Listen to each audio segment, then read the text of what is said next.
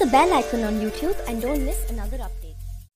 இப்போ ஆக்ரோஷமாக யுத்தம் நடந்துக்கிட்டு இருக்கு. யார் கை ஓங்கி இருக்கு அப்படின்னா ரெண்டு பேர் கையுமே ஓங்கலை அப்படிங்கிறது தான் பெரிய அளவில் உக்ரைன் ஒரு அஃபென்சிவாக போனாலும் முன்னேற முடியாமல் ரஷ்ய இராணுவம் தடுத்துக்கிட்டு இருக்குது ஆயுதங்கள் அந்த பகுதியில் ரெண்டு தரப்புமே முடிஞ்ச அளவு ஆயுதங்களை சப்ளை செயின் துண்டிக்காமல் பார்த்துக்கிட்டு களத்துக்கு கொண்டு வராங்க. ஆனால் முன்னேற்றம் இல்லை மாற்றம் அப்படின்னு எதுவுமே இந்த நிமிஷம் வரை நடக்கலை. கெர்ஷன் பிராந்தியத்தில் கூடுதலான தாக்குதல் வேகத்தை ரெண்டு நபர்களும் காட்டுறாங்க.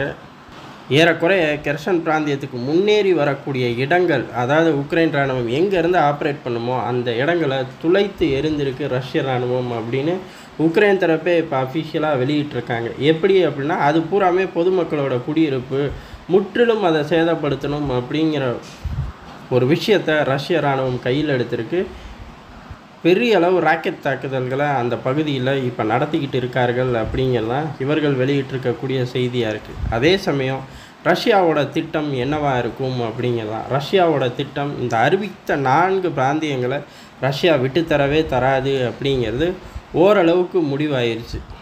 அதே சமயம் போர் தொடர்ந்துக்கிட்டே இருந்தால் இன்னும் பல்வேறு பகுதிகளை ரஷ்யா பிடிக்கிறதுக்கு ஒரு குறிவைக்கும் அப்படிங்கிறது தான் காரணம் ரஷ்யாவுக்கு எவ்வளவு தூரம் ஆட்கள் பற்றாக்குறை வருதோ ஆயுத பற்றாக்குறை வருதோ அது அனைத்தும் உக்ரைன் தரப்புக்கு வரும். பெரிய அளவில் ஃப்ளாஷ் ஆகாது அப்படிங்கிறது தான் ஆயுதங்கள் கொடுக்கக்கூடிய நாடுகள் எல்லாமே நீண்ட நாட்கள் போருக்கு தயாராக இல்லாத நாடுகள் தான் அமெரிக்காவிலேருந்து ஐரோப்பாவில் உள்ள எல்லா நாடுகளுக்குமே பற்றாக்குறை அப்படிங்கிறது வரும். அதனால் ஆயுதங்கள் கொடுக்கக்கூடிய வேகம் அப்படிங்கிறதும் ஸ்லோவாகும் இதை நோக்கி தான் இப்போ ரஷ்யாவும் நகர ஆரம்பிச்சிருக்கு. ரஷ்யா இப்போ ஒரு அதிரடி உத்தரவு. சொல்லப்போனால் அவங்க இதை ரொம்பவுமே வேகமாகவும் செய்ய ஆரம்பிச்சிட்டாங்க.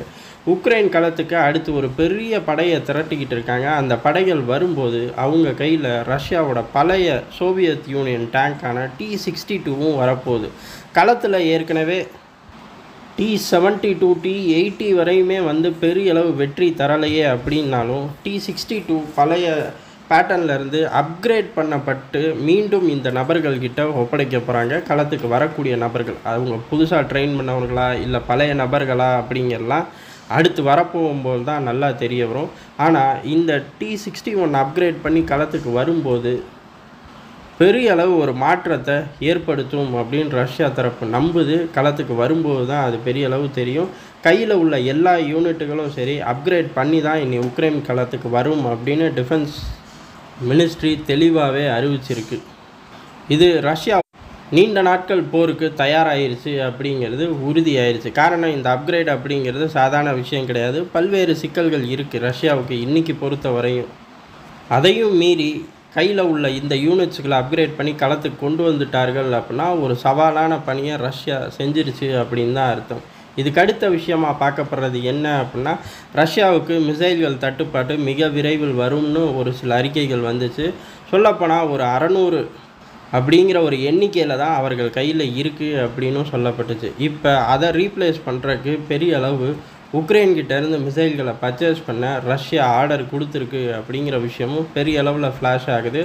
ஆளில்லா விமானங்கள் விஷயத்தில் எப்படி ஈரான் உடனடியாக மறுத்துச்சோ அதே போல் இந்த விஷயத்துலையும் மறுத்திருக்கார்கள். ஆனால் பெரிய அளவு யூனிட்டுகள் கைமாறும் அப்படின்னு சொல்லப்படுது. களத்துக்கு வரும்போது தெரிஞ்சிடும் அப்படி வரக்கூடிய ஈரானிய மிசைல்கள் எவ்வளவு தூரம் ரஷ்யாவுக்கு மைலேஜ் கொடுக்குது அப்படிங்கிறதும் இங்கே முக்கியமாக பார்க்க வேண்டிய விஷயம். ஆளில்லா விமானங்களை பொறுத்த வரையும் பெரிய அளவுக்கு கை கொடுக்குது. ரஷ்யாவோட மிசைல்கள் எவ்வளோ தூரம் கை கொடுத்துச்சோ அதே அளவு கை கொடுக்குது. அதை விட கம்மியான செலவில் அப்படிங்கிறது தான் இங்கே முக்கியமாக பார்க்க வேண்டிய ஒரு விஷயம். அடுத்து மிசைல்கள் வரும்போது என்ன மாதிரியான தாக்கத்தை ஏற்படுத்தும் அப்படிங்கிறதும் கிளியராக தெரிஞ்சிடும் இதுக்கு நடுவில் இந்த யுத்தம் ஆரம்பிக்கும் போது ரஷ்யா ஒரு பயிற்சியை மேற்கொண்டுச்சு. அந்த இராணுவ பயிற்சி முடிகிறக்கு ரெண்டு ஒரு நாள் கழித்து யுத்தம் ஆரம்பிக்கும் அப்படின்னு சொல்லி எல்லா நாடுகளோட உளவுத்துறையும் சொன்னாங்க. பெரிய அளவு எல்லா பத்திரிகைகளும் எழுதுனாங்க. இந்த பயிற்சி முடிஞ்ச கையோட தாக்குதல் தான் ஒரே திட்டம் அப்படின்னு பார்க்கப்பட்டுச்சு. அதுதான் நடக்கவும் செஞ்சுச்சு. அதே சூழ்நிலை இப்போ மீண்டும் வருது. ரஷ்யாவும் ஒரு பக்கம் பயிற்சி செய்யுது. இன்னொரு பக்கம் ஐரோப்பாவும் பயிற்சி செய்யுது. ஆனால் இது இராணுவ பயிற்சியையும் தாண்டி அணு ஆயுத பயிற்சி இதுதான் இப்போ எல்லாருக்கும் ஒரு அதிர்ச்சியை கொடுத்துருக்கு. ஒருவேளை ரஷ்யா அணு ஆயுத தாக்குதல் நடத்தும் அப்படிங்கிற மாதிரியும் அதுக்கு எதிர்வினை நாங்கள் செய்வோம் அப்படிங்கிறக்காக ஐரோப்பிய நாடுகளோட பயிற்சி இருக்கும் அப்படிங்கிற ஒரு அச்சம் எல்லார் மனசுலையும் நிலவுது. இந்த அச்சத்துக்கு கூடுதலாக வலு சேர்க்குற மாதிரி தான் அமெரிக்கா ஒரு விஷயத்தை இப்போ பேசியிருக்காங்க. என்ன அப்படின்னா ஒரு நியூக்ளியர் அட்டாக்கை ரஷ்யா பண்ணக்கூடாது அதுக்கு தடுக்கணும். யார் தடுக்கணும் அப்படின்னா இந்தியா சீனா தடுக்கணும். இந்தியா சீனா ரஷ்யாவை ஒரு எச்சரிக்கை செய்யணும் அப்படின்னு சொல்லியிருக்காங்க. இது எதற்கு அப்படிங்கிறதான் இங்கே முக்கியமாக பார்க்கப்படுது. காரணம் என்ன அப்படின்னா அமெரிக்கா கொடுக்காத எச்சரிக்கையாக இந்த விவகாரத்தில் அப்படின்னு பார்த்தா அமெரிக்கா ஃபஸ்ட்லேருந்தே எச்சரிக்கை செஞ்சுக்கிட்டு தான் இருக்குது ஆனால் அணு ஆயுத தாக்குதல் நடந்தால் நாங்களும் தாக்குவோம்னாங்க. அப்புறம் நாங்கள் தாக்க மாட்டோம். ஆனால் விளைவுகள் மோசமாக இருக்கும் அப்படின்னாங்க. இப்போ ஒரு பயிற்சி வரையும் போயிருக்காங்க. இப்படி இருக்கும்போது அடுத்த கட்டமாக எதுக்கு நம்மளை மாதிரி நாடுகள்கிட்டலாம் சொல்கிறாங்க அப்படின்னா அப்படி நடந்துருச்சு அப்படின்னா ரஷ்யா கிட்டேருந்து இந்த நாடுகளெல்லாம் விலக்கி வைக்கணும் அப்படிங்கிறக்காக தான். அதுக்கு இப்போவே ஒரு விஷயத்த சொல்லும்போது அன்றைக்கி நீங்கள் எச்சரிக்கலை அதான் இவ்வளோ பெரிய பிரச்சனை அப்படின்னு கிளப்பி விட்ருவாங்க அதுக்கு பயந்துட்டு எல்லாருமே கொஞ்சம் பின்வாங்க வேண்டிய ஒரு சூழ்நிலை வரும். இன்னும் சொல்லப்போனால் அணு ஆயுத தாக்குதல் நடந்தால் ரஷ்யாவுக்கு இன்னைக்கு உள்ள ஆதரவு கூட அன்னைக்கு இருக்குமா அப்படிங்கிறது சந்தேகம். எல்லா நாடுகளுமே பின்வாங்க வேண்டிய ஒரு கட்டாயத்துக்கு ஆளாகும். அந்த அணு ஆயுதம் தாக்குதலை பொறுத்து அதோட தீவிரம் இன்னமும் பயங்கரமாக இருக்கும். அதுக்காக தான் அமெரிக்கா இப்போவே இந்த மாதிரி ஸ்டேட்மெண்ட் விடுது அப்படின்னு பார்க்கப்படுது. எது எப்படியோ இந்த போரே நடந்திருக்க கூடாது நடந்துருச்சு. இந்த போர் ஒரு அணு ஆயுத போராக மாறிச்சு அப்படின்னா கட்டாயம் உலகம் ரெண்டாக பிரியும். இல்லை அணு ஆயுத போராக மாறலை இது தொடர்ந்து நடந்துக்கிட்டு இருந்தாலும் உலகம் ரெண்டாக பிரியும். அதை நோக்கி தான் இந்த விவகாரம் தொடர்ந்து பயணிச்சுக்கிட்டு இருக்குது